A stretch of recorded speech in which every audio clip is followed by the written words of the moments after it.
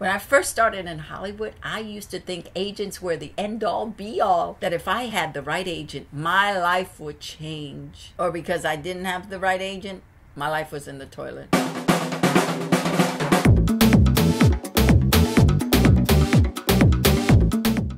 Over the years, I've learned that you can't give agents, managers, or representatives your power. It is your job as an artist to, number one, define your brand. The agent can't sell you unless you both know and are in agreement to what your brand is. Number two, connect with casting people through networking, submissions, and showcasing. The reality is that many times casting people call the agents for you because you have already built a reputation for yourself. Most agents are overwhelmed with clients and they don't give attention to anybody unless the client is hot. Three, keep yourself hot and relevant like you are. Keep creating work that makes people talk about you and keep networking to let people know you are out there. And most importantly, keep doing quality work so people can continue to notice you. Because at the end of the day, no representatives can get you a job. Really, they can only get you an introduction. It is important to note